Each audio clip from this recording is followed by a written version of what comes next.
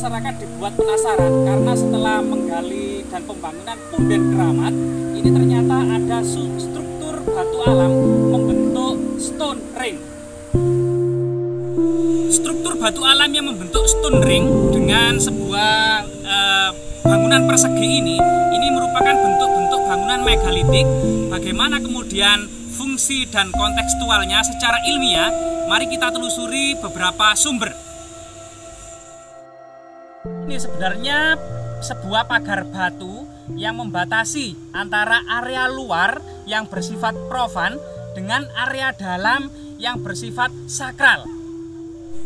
Sebagaimana kajian batu stone ring yang ada di eh, beberapa pulau yang di luar Jawa, itu fungsi dan kegunaannya maka ditentukan dengan yang ada di tengah dari bangunan stone ring itu sendiri. Nah yang ada di tengah ini belum dilakukan ekskavasi, kita belum mendapati apakah sebuah makam kubur prasejarah atau sebuah menhir atau sebuah altar atau juga sebuah susunan batu alam ataukah memang kosong.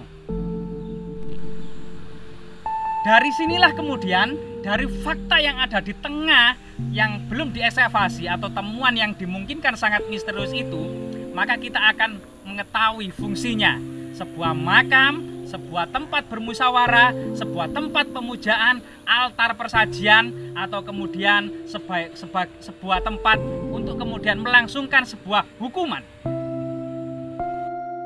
Ini di atas permukaan juga pernah banyak arca seperti nandi atau sapi, kemudian juga fragmen-fragmen yang diduga arca Ganesha, arca Parwati, dan arca Maharesi Agastya serta sebuah lingga yang menandakan di sini sebuah prasada Majapahit yang dimungkinkan menghadap ke arah barat.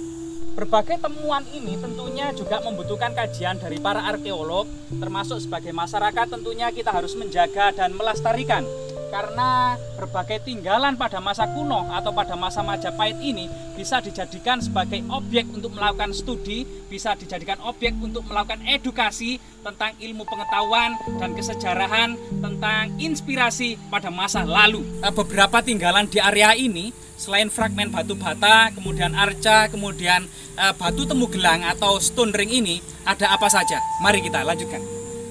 Di sini memang benar-benar batu alam batu alam yang tersusun membentuk sebuah pagar atau stone ring.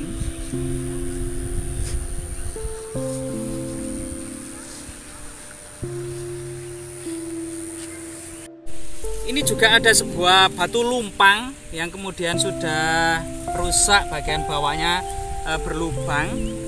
Ini juga kemungkinan batu lumpang ini bagian dari ritual penetapan e, tanah sima perdikan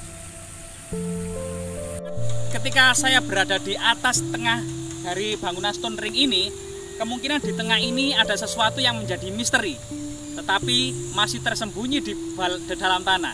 Bagaimana kemudian para arkeolog maupun pihak Balai Pelestari Cagar Budaya kemudian menyingkap tinggalan dan temuan situs yang sangat luar biasa ini. Sangat aneh.